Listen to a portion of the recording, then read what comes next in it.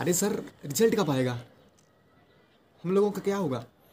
अभी प्रक्रिया चल रही है।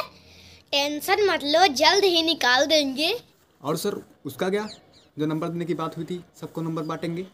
अरे हम सबको दस दस नंबर देंगे उताले मत हो ज़्यादा। और हाँ टर्म टू के पेपर कब होंगे? देर तो आप लोग देर नहीं रहे हैं। पता नहीं कैसे होंगे।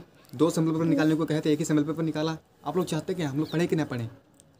डेट निकालिए जल्दी से। सर जल्दी से कुछ करिए क्योंकि हम लोग बस पढ़ाई छोड़ने ही वाले हैं।